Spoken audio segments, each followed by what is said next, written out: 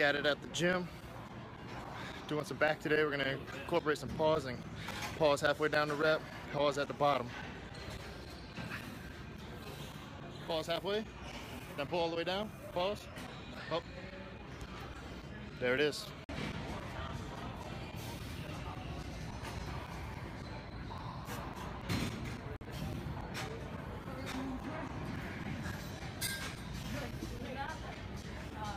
This is what I meant.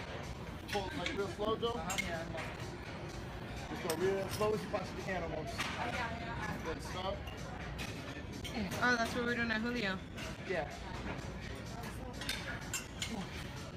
Then You gonna go here? I'll rub some out. Oh, okay.